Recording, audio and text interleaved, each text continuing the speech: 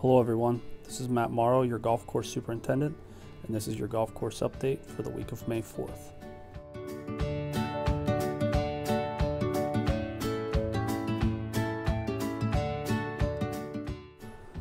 One of the biggest benefits of working outside every day is getting to experience the awesomeness of Mother Nature.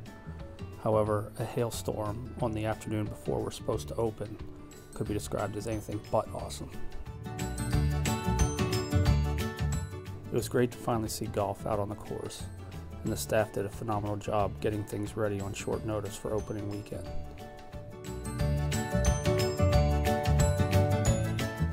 For those of you who have been to the club, you probably noticed that the parking lot has been seal coated and striped.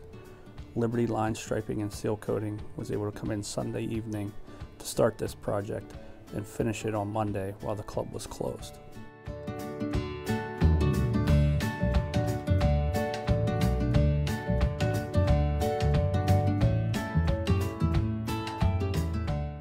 This week, the staff is replacing the sod on number four walkway and at the bottom of the hill in the swale. On the walkway, we're using a fine fescue bluegrass mix, and in the bottom of the swale, we're using straight fine fescue. Since there are no bunker rakes on the golf course, we're asking everyone to smooth the area they play from when in a bunker with their foot. Our staff is also going to be going around throughout the day raking bunkers to keep them smooth and playable.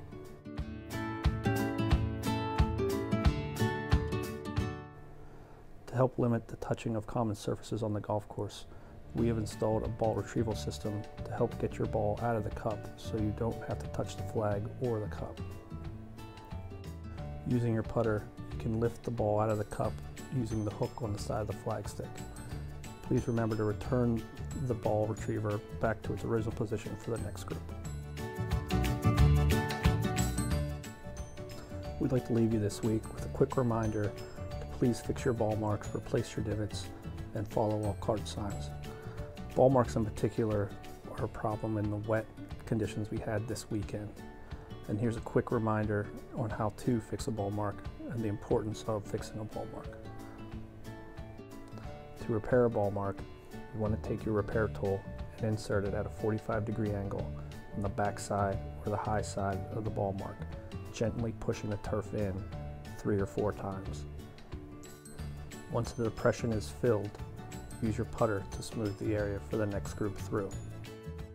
A ball mark repaired immediately will heal in as quick as 24 hours, whereas a ball mark that's left unrepaired may take 7 to 14 days to heal.